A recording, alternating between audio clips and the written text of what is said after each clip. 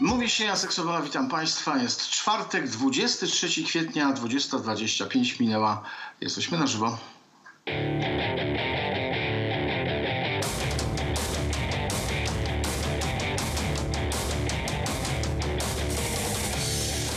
Pięćset siedem dziewięćset sześćdziesiąt cztery dwa pięć trzy pięć zero siedem dziewięć sześć cztery dwa pięć trzy.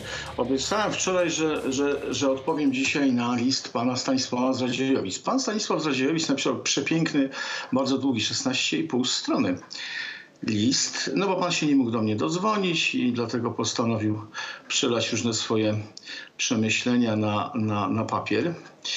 Y, To jest, proszę państwa, taki y, list y, specjalny, szczególny, wyjątkowy, bo on jest napisany między innymi na przykład w trzech językach, również, jak to skazać, w cyrylicy.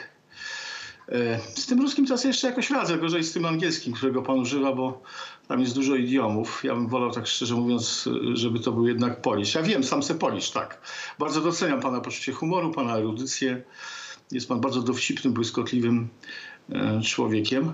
I, i, I ja nie potrafię się do tego wszystkiego, co, co pan opisał, odnieść tak w jednym zdaniu, w jednym słowie. To jednak będzie wymagało z mojej strony jakiegoś przetrawienia, być może rozmowy z kimś mądrzejszym, dlatego że również pisze pan o pewnych aspektach, które e, no, zatrącają o taką wiedzę operacyjną.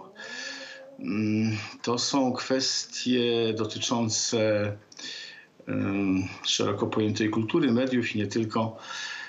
Panie Stanisławie, może umówmy się w ten sposób, że ponieważ pan podał mi swój numer telefonu, ja, ja jak już będę przygotowany i będę potrafił odpowiedzieć na te kluczowe pytania, no bo tam na takie drobiazgi pod tytułem dlaczego ja, jak na przykład ktoś zadzwoni, patrzę do góry, to mogę odpowiedzieć oczywiście od razu awista. No patrzę do góry, bo ten głos tak się rozchodzi jakoś tak jak w kościole, więc tak, tak się zachowuje.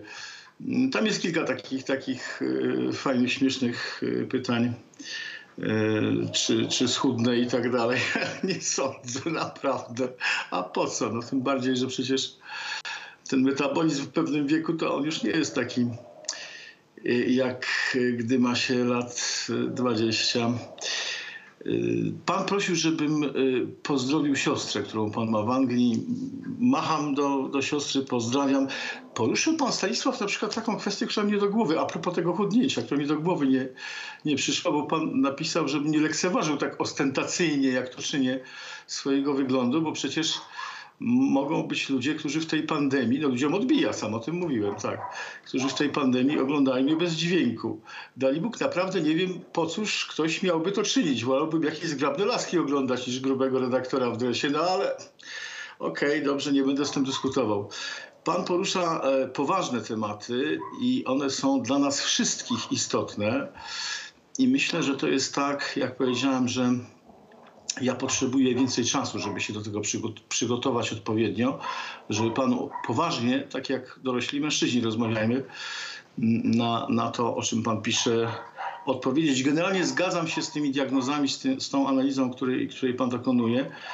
No konkluzje nie są dla nas wszystkich wesołe, ale może, może po wyborach to, to załatwimy, żeby, żeby przed wyborami już tej biednej władzy nie dokładać.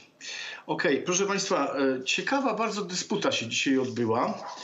Aha, kłaniam się uprzejmie, dziękuję Panie Stanisławie.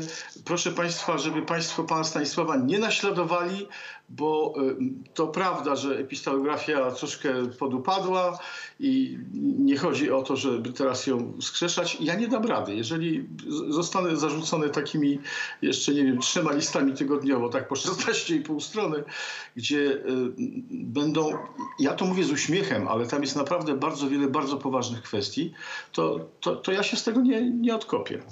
Y, Do bardzo ciekawej dyskusji dzisiaj doszło, ale to za chwilę powiem. Wy żartujecie teraz ze mną. Pani Stanisława zadzwoniła? Pani Stanisława, tak. Pani Stanisława i pan Tak, tak, Stanisław. tak, Pani tak. Stanisława z Góry Kalwarii. Kłaniam się, dobry wieczór. Tak, słucham. Dobry wieczór panu. Ja bym się wieczór. chciała odnieść, odnieść do wyborów. Czy mogę? Bardzo proszę. Y, Proszę pana, w, związku z wyborami opozycja tak strasznie martwi się o nasze zdrowie, tak bardzo przeżywa, żeby Polacy się nie, nie zarazili tym koronawirusem. A czy opozycja martwiła się o nas wtedy, kiedy rządziła, kiedy nie było pracy, kiedy sobie lekceważyli nas jako Polaków? Teraz się bardzo o nas martwi. Odnośnie jeszcze pana Grodzkiego. Wie pan co? Że ten pan to już powinien dawno przestać być y, tym marszałkiem Senatu, bo to jest wstyd i hańba, żeby taki człowiek reprezentował Polskę. To jest niemożliwe. Dlaczego on jeszcze tam jest? Dlaczego oni to robią? Całkiem chcą rozwalić tą naszą Polskę. To są sprzedawczyki, to nie są Polacy. To są sprzedawczyki. Oni za wszelką cenę chcą nas zniszczyć. Oni ciągle mówią w imieniu Polaków.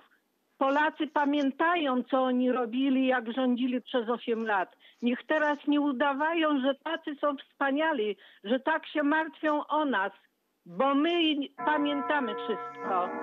My nie damy się oszukać. Do wyborów pójdziemy.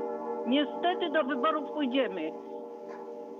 Czy idziemy do sklepu, idziemy do apteki, nawet jak będą stacjonarne wybory, to też pójdziemy. Niech się o nas tak bardzo nie martwią, bo już nam dali i wiemy, Uprzejmie- co oni mają. Uprzejmie Halo? dziękuję Pani Stanisławo.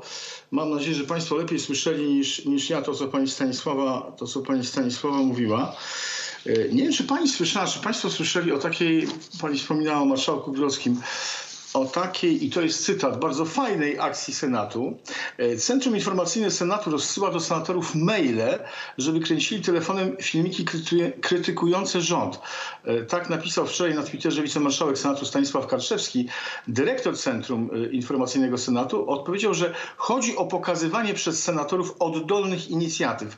Treść wysyłanego maila przedstawiona w całości przez portal TVP Info no, wydaje się wskazywać, że to raczej marszałek Karczewski ma w tej sprawie rację. Gotowe filmiki w ramach akcji Głos Obywateli senatorowie mieli wysyłać do dwóch pracowników Senatu, do Adama Kądzieli, były członek Nowoczesnej i Natalii Glińskiej-Jackowskiej, była dziennikarka TVN24. Jaka jest treść tego maila? Centrum Informacji Senatu. Do sieci trafiły fragmenty tego maila. Znasz kogoś, kto w Twoim okręgu wyborczym prowadzi biznes i przez pandemię koronawirusa boryka się z problemami? A może znasz kogoś, kto korzysta z tarczy antykryzysowej? Lekarza, który nie może doczekać się testu. Prosimy także wszystkich senatorów biorących udział w akcji o nagranie zapowiedzi. Na przykład w moim rodzimym mieście wciąż jest za mało maseczek. Z tym się właśnie zwrócono do, do senatorów, z takim apelem. Na Twitterze Karczewskiemu odpowiedział dyrektor Centrum Informacyjnego Senatu, pan Grzegorz Furgo. Warto zapamiętać to nazwisko, bo to specjalna osoba, pan Grzegorz Furgo, były poseł. Panie Karczewski, to dobra inicjatywa Centrum Informacyjnego Senatu. Nie ma tu żadnego ataku na rząd. A skądże? Senatorowie dobrze odczytali nasze intencje, stąd szeroki odzew. Mam nadzieję, że również pan, panie marszałku Karczewski, dołączy do tej fajnej akcji. No bardzo fajna akcja, naprawdę. Ja państwu zacząłem opowiadać o tym, że do ciekawej dyskusji, dysputy doszło, doszło dzisiaj pomiędzy panem redaktorem Tomaszem Lisem i szefem partii Razem, Adrianem Zandbergiem. No wyjątkowo interesująca pogawędka się panom przytrafiła na Twitterze. Partia Razem zamieściła na Twitterze taki wpis, y, w którym domagała się likwidacji tzw. śmieciówek, poszanowania kodeksu pracy, wzmocnienia Państwowej Inspekcji Pracy, żeby nie powiedzieć skrótem PIPy. Y, Ten wpis się nie spodobał panu redaktorowi i naczelny Newsweeka zareagował w następujący sposób. Tak napisał pan redaktor Tomasz. Lis. Dość kompromitujące komuchowo w tym wpisie. Za pieniądze rodziców chcą dokończyć dzieło dziadków. W odpowiedzi Adrian Zandberg, lider Razem, odpisał Muszę przyznać, z dziadkami trafił pan redaktor w dziesiątkę. Moja babka walczyła w powstaniu o Polskę wolną i sprawiedliwą społecznie, a nie o piekło dla biednych. No, riposta pana redaktora Lisa była natychmiastowa. Szacunek dla babci, ale powstanie warszawskie było między innymi po to, żeby komuniści nie zaprowadzili tu własnych porządków i swej sprawiedliwości społecznej, w cudzysłowie. Ta tradycja powinna zobowiązywać, jak sądzę. Adrian Zandberg w odpowiedzi napisał, że dalsza wymiana poglądów e, nie ma sensu. Skoro według pana postulat, by ratownicy nie byli wypychani na samozatrudnienie jest komunizmem, to dalsza wymiana poglądów nie ma sensu. Na marginesie na czele Polski podziemnej stał socjalista, a i przed wojną nie brak było idiotów piszących, że Pużak to kryptobolszewik. Czy redaktor Lis w ogóle kojarzy taką postać jak Pużak? No nie wiem, miałam wątpliwości, szczerze mówiąc, tak mi się wydaje, że chyba nie, niekoniecznie.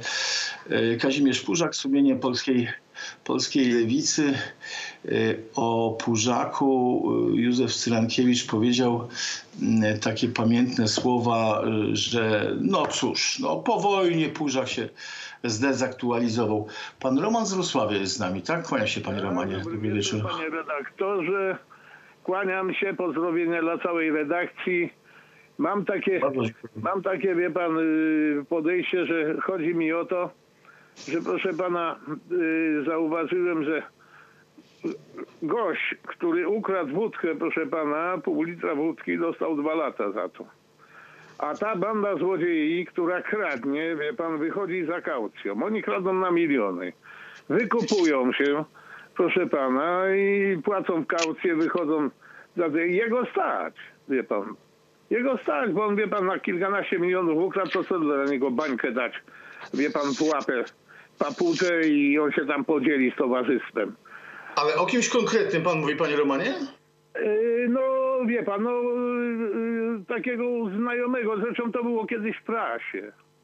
Wie pan, to było kiedyś w prasie yy, bo- bo nawet w telewizji miejscowej tu we Wrocławiu, bo tu raz, teraz, proszę pana, jest taka telewizja Echo 24, no, ale coś podobne chyba do, do, do tego TVN-u bo, bo to prezydenta telewizja, on tam się wychwala, wie pan, wystawia się strasznie. Kiedyś było Echo, którym był wiceprezesem czy prezesem Schetyna prawdopodobnie, o ile pamiętam, była też telewizja dolnośląska i, i wie pan, a teraz odnośnie, odnośnie tej, tej całej sprawy chodzi mi o, tą, o tych zdrajców, którzy się nazywają opozycją, to dlaczego tak jest, że ten rząd nic nie może zrobić im? Proszę pana, przecież mają tyle dowodów na nich, że to są zdrajcy, to, bo to są zdrajcy, proszę pana. To był zamach na samolot, y, tu przecież sprzedał całą sprawę, żeby Putin prowadził. No, no wie pan, daje się wrogowi, żeby sprawę prowadzić tego samolotu naszego yy, rozbitego w tym. Przecież to wiadomo było, że zamach był. I nie rozumiem tego, że ten rząd nic nie robi. Czy oni mają jakąś umowę, że my dzisiaj rządzimy, a jak wy przyjdziecie, my wam nic nie zrobimy, a wy przyjdziecie, to my też wam nie, nie będziemy przeszkadzać. No bo ja nie wiem, o takie mam podejrzenia, wie pan. Bo przecież powinni za tak zwany pysk złapać i proszę pana, przecież tego Tuska to powinni bez, bez sądu wskazać od razu. Jemu To się tak należy bez sądu go skazać. Proszę, nie tylko jemu zresztą tam. Wie pan, przecież to jest banda hołota. A ten Budka, to jak go słyszałem dzisiaj, wie pan, to on się chyba przy porodzie głową o łóżko walnął. No bo, bo panie, to co on gada, takie bzdety, to, to się słuchać nie chce tego TVN. No ja tam skoczyłem na chwilę, bo ja przeskakuję, wie pan, wiadomości wszędzie. I trwa mi wszystkie te wiadomości i widzę, że Polsat Newsweek, to chyba z tym lisem coś jest powiązane, te chytruski, proszę pana, to widzę, że też z tym TVN-em kolesie. Bo, bo oni tam, proszę pana, pok- pokazują, okazują się, kim oni są. A widział pan, co zrobił kierowca Kidawy dzisiaj? Yy, nie, nie, nie, bo ja, wie pan, byłem na tym, jak przyjechałem, to oglądałem budkę. A, rozumiem. Dobra, pozdrawiam serdecznie panie Romanie. Kłaniam Ja się, wszystkiego dziękuję dobrego. Ukłony dla, dla Wrocławia. I najlepszego, panie redaktorze. Dziękuję Kłaniam. uprzejmie. To ja Państwu opowiem, co zrobił dzisiaj kierowca Małgorzaty Kidawy-Błońskiej. E, Portal TVP Info opublikował takie nagranie, na którym widać, jak e, kierowca Małgorzaty Kidawy-Błońskiej kilka razy łamie przepisy ruchu drogowego. E, Nagranie, które spłynęło na platformę Twoje Info, dokumentuje moment przyjazdu Kidawy Błońskiej na spotkanie przy jednej ze stołecznych ulic. Kandydatce na prezydentę towarzyszył m.in. prezydent Warszawy Rafał Trzaskowski, ale to zostawmy.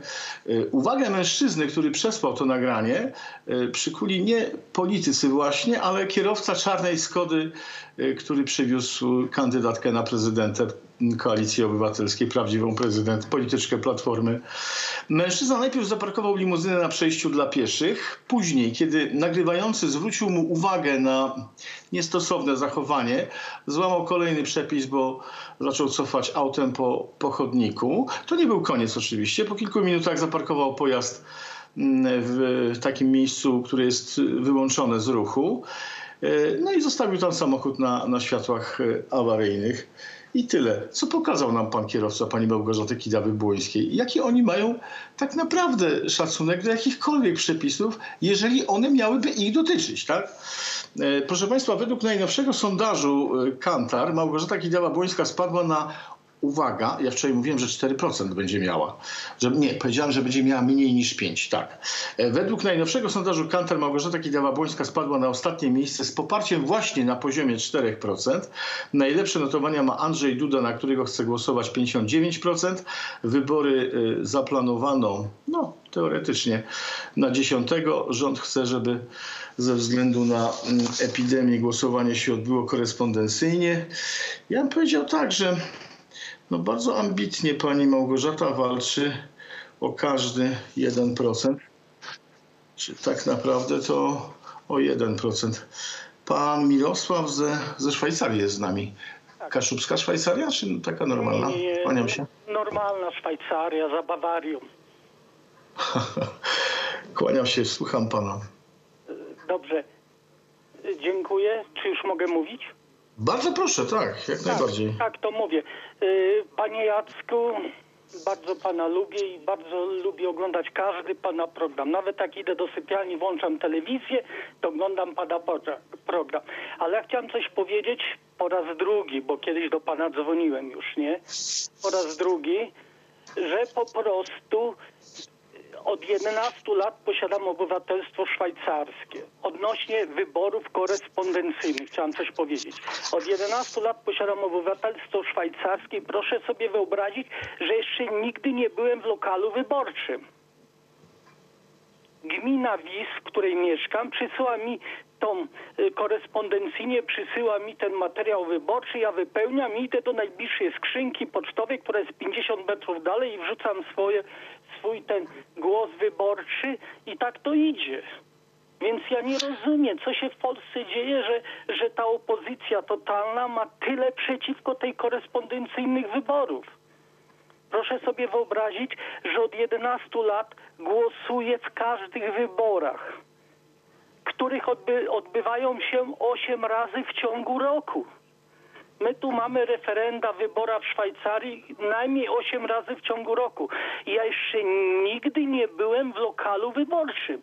Tylko dostaję materiał, skreślam, wrzucam do skrzynki pocztowej i jest to wszystko w porządku.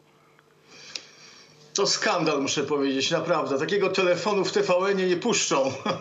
nie, Panie na Mirosławie, no nie wie pan, co się dzieje. No chodzi im o to, żeby ich kandydatka na prezydentę, która jest fantastyczna naprawdę, jak się okazało, być może e, otrzyma na 1%. Proszę pana, ja jestem od 11 lat obywatelem szwajcarskim i głosuję najmniej 8 razy. Ja myślę, że moi rodacy w Szwajcarii to potwierdzą, bo to jest w, w każdym kantonie. Ja myślę, że to potwierdzą. Ja od 11 lat jeszcze nigdy nie byłem w lokalu wyborczym. Ja słyszałem... No wie pan, a tutaj nam się udowadnia i przekazuje cały czas, że to jest wykluczone, to jest niemożliwe, nie da się zorganizować takich wyborów, nie można, nie będziemy tego potrafili zrobić i tak dalej. To prawu i A jeszcze pomija pan, że, że przecież na pewno, na pewno te, te, te karty będą zakażone, zainfekowane na 100%. co ta totalna opozycja cierpi, to ja nie rozumiem. Autentycznie. Jakbym mógł, mówię szczerze, tak z polskiego serca, jakbym mógł, to bym sam pojechał do tej Polski, rozpieprzył tą totalną opozycję, bo oni szkodzą nie tylko nam, Polakom, ale oni szkodzą całej naszej ojczyźnie. Przepraszam za mój wybuch. Ale jak ja to czytam, jak ja to widzę, co oni robią, ten Budka, ta, ta Kidawa Błońska, pożal się Boże, ten Biedroń i choćby ten Kośniak-Kamysz. Kłaniam się bardzo To chciałem powiedzieć, to chciałem tylko powiedzieć, bo w telewizji polskiej wielokrotnie słyszałem, że w Szwajcarii przeprowadzają e, tą e, korespondencyjne te wybory, ale ja żyję w Szwajcarii już 35 lat. Od 11 lat mam obywatelstwo szwajcarskie i nigdy jeszcze nie byłem w lokalu wyborczym, tylko ciągle głosuję korespondencyjnie. Bardzo uprzejmie dziękuję panie, panie Mirosławie, pozdrawiam serdecznie. No tak to jest, że, że tego nie, nie wytłumaczy, nic nie przekona. Ja mam taki sygnał, proszę państwa, że coś tutaj się z wizją zrobiło niedobrego i teraz e, nie wiem, co, co, co, co ja mam zrobić, co ja mogę uczynić. Ro, rozłączyć się, czy, czy walczymy dalej? Mm, Czekam, czekam na jakiś sygnał. Bądźmy dobrej myśli, tak się dowiedziałem. Okej. E, Proszę Państwa, e, jako skrajnie niewiarygodny ten sondaż, o, o, którym Państwu wspominałem, ocenił e, pan poseł Adam Szłapka, rzecznik sztabu wyborczego Małgorzaty Kidawy-Błońskiej. Kandydatka na prezydentę dostała w tym sondażu 4% poparcia. Rzecznik sztabu Kidawy Błońskiej y, uznał y, to badanie Kantara za absolutnie niewiarygodne. E, Sondaż przeprowadza się w taki sposób, że pracownia najpierw pyta, czy jeżeli wybory odbędą się 10 maja, to weźmie y, pan czy pani w nich udział. Jeżeli większość wyborców opozycji mówi, że nie weźmie w nich udziału, to dalej już nie są badani. W związku z tym te sondaże są skrajnie niewiarygodne, tak powiedział poseł Szłapka. No i jego zdaniem tego typu sondaże, jak ten opracowany przez Kantar, to pokazują głównie stosunek Polaków do tych planowanych na maj wyborów prezydenckich. Szłapka też zwrócił uwagę, że wcześniejsze sondaże przeprowadzone na przełomie roku wskazywały na frekwencję e, na poziomie około 70%, a z tego sondażu e, wynika, że niemal połowa respondentów, 47% wyraża chęć wzięcia udziału w tych e, wyborach prezydenckich. Przy czym jedna czwarta Polaków 28% jest tego, jest tego pewna. E, Stanowisko Kantara w tej sprawie jest następujące. Pani Urszula Krasowska z Zespołu Badań mm, Społecznych Kantar powiedziała, że nie da się podać procentowej różnicy spadku bądź wzrostu poparcia poszczególnego kandydata w zestawieniu do marca, ponieważ w kwietniowym badaniu zostało zadane inne pytanie, które brzmiało 10 maja odbyć się mają wybory prezydenckie, które zostaną przeprowadzone korespondencyjnie, czyli za pomocą poczty. Czy zamierza pan, pani wziąć w nich udział? Jest jeszcze komentarz Kidawy Błońskiej do, do, do tego sondażu, ale to może porozmawię z panią Bożeną. Pani Bożena jest z nami. Kłania się pani Bożena. Dobry wieczór. Dobry wieczór. Tak, Ja słuchamy. chciałam powiedzieć odnośnie e, Platformy. Czy oni uważają, że jak wybory będą y, odłożone w czasie, to ich kandydat zdobędzie prezydenturę? Obawiam się, że nie. Bo ludzie zbyt dobrze pamiętają rządy Platformy i znają ich hipokryzję i znają ich podejście do społeczeństwa, do ich prawdomówność. Myślę, że niech oni zapomną w ogóle o jakimkolwiek rządzeniu Polską. Kiedykolwiek, bo prędko to się nie stanie. My dobrze pamiętamy ich e, podejście i do służby zdrowia, jak oni, pani Kopaczowa i pana Rumkowicz, jak oni byli troskliwi, jak oni się troszczyli, jak oni teraz chcą, daliby wszystkie pieniądze, nawet z telewizji by zabrali, tylko dla chorych na raka, jak, jak oni są współczujący. I my pamiętamy, jakie było ich podejście. Nie chcemy ich w ogóle znać.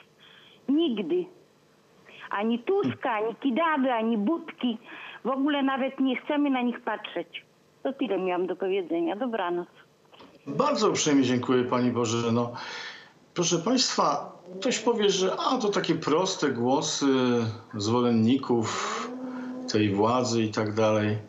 Mnie się wydaje, że to jest tak, y, że y, to są głosy być może prostych, zwyczajnych, przeciętnych ludzi, ale to są rozsądne i mądre głosy i warto, warto takiego głosu, jak na przykład ta opinia Pani Bożeny, e, uważnie posłuchać, bo, bo to chyba tak jest, jak pani Bożena mówi. e, całkiem poważnie i serio, czasami sobie żartuję, odpowiadając na to, co, co pani powiedziała. E, Oni moim zdaniem nie wierzą w to, że, e, że jakikolwiek ich kandydat, bo takiego kandydata to oni tak naprawdę nie mają. No Małgorzata Kidawa-Błońska okazała się być fatalną kandydatką, ale to było do przewidzenia. To nie jest tak, że tego nie można było wcześniej e, dojrzeć i, i dostrzec. E, Jakikolwiek ich kandydat nie ma, nie ma szans e, w najbliższych wyborach. Mm, Mnie się wydaje, że im chodzi o jedno, im chodzi o chaos, o to, żeby, żeby zniszczyć to wszystko, co dla nas jest ważne. E, To jest e, przyczynek do dyskusji o bardzo wielu sprawach. Ja tutaj o tej pani Diduszko nieszczęsnej od tygodnia się z tym noszę, nie wspomniałem. Im chodzi o, o to, żeby stworzyć nowego człowieka, żeby tutaj doprowadzić do takiej rewolucji, która zmiecie te wszystkie wartości, które dla nas są istotne. Im chodzi o to, żeby zniszczyć tę ojczyznę i przy okazji również nas, Polaków. Kłaniam się, pozdrawiam, bardzo uprzejmie dziękuję za wszystkie spotkania w tym tygodniu. Przepraszam za te kłopoty techniczne. Obiecuję solennie, że naprawdę będziemy nad tym pracowali. Postaram się zrobić wszystko, żeby Państwo mieli tę jakość jak najlepszą. Wszystkiego dobrego, miłego wieczoru życzę. Do zobaczenia w poniedziałek.